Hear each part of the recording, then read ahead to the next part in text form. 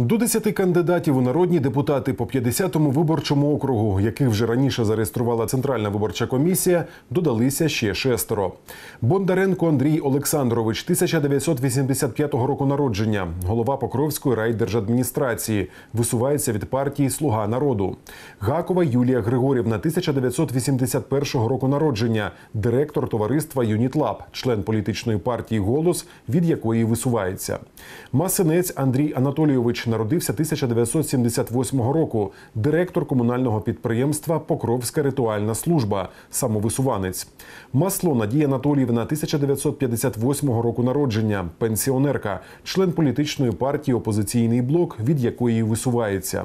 Рева Лариса Миколаївна народилася у 1963 році. Тимчасово не працює, член політичної партії Всеукраїнське об'єднання Батьківщина, від якої висувається.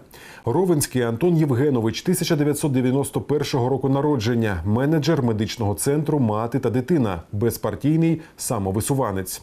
Усі кандидати мають громадянство України. Впродовж останніх п'яти років проживають на території країни та не мають судимостей.